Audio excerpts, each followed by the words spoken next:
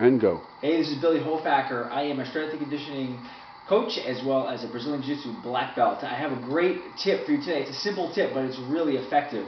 When you're doing a workout, uh, in particular, let's say a bag workout, you're going to hit the heavy bag and you want to get a good solid workout out of it. This applies for any kind of workout, but it's always a good idea to have a plan.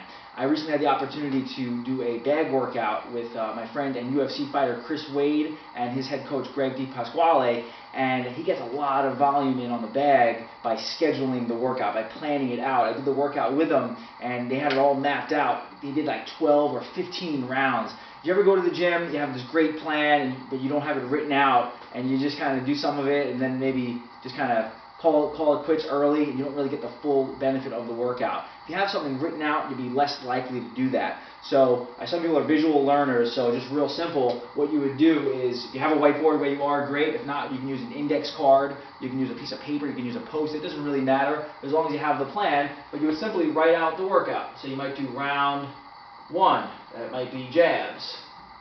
And again, this applies for any kind of workout. You could do round two, you can do you can do just jabs and crosses, ones and twos, let's say, ones and twos. And then round three, you might throw in some hooks.